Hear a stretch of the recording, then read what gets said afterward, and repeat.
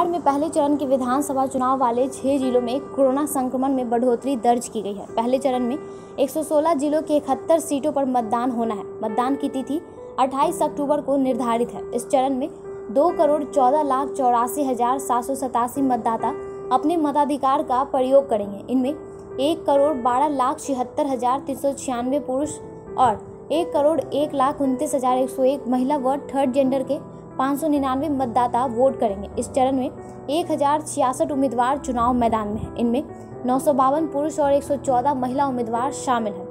इस चरण में सबसे अधिक गया टाउन में और सबसे कम कटोरिया विधानसभा क्षेत्र में उम्मीदवार हैं। आपको बता दें कि पिछले 20 दिनों में पटना, भोजपुर, औरंगाबाद, जहानाबाद, शेखपुरा, मुंगेर में कोरोना के सक्रिय मरीज़ बढ़ गए हैं। राज्य में पहले चरण में 16 जिलों में पटना, नालंदा, कैमूर, रोहतास, बक्सर भोजपुर, औरंगाबाद, अरवल, जहानाबाद, गया, नवादा, शेखपुरा, लखीसराय, मुंगेर, जमुई व बांका में चुनाव होना है। पहले चरण के चुनाव वाले जिलों में शामिल पटना में एक अक्टूबर को दो हज़ार बासठ कोरोना के सक्रिय मरीज़ थे, जो कि 21 अक्टूबर को बढ़कर 2677 हो गए। वहीं भोजपुर में इसी अवधि में 105 से 175 औरंगाबाद में एक से 241 जहानाबाद में 211 से 224 शेखपुरा में एक से एक सौ पचासी और मुंगेर में दो सौ सड़सठ से दो सौ छियासी सक्रिय मरीज़ हो गए। वहीं दूसरी ओर, कैमूर में एक अक्टूबर को छप्पन सक्रिय मरीज़ थे, जो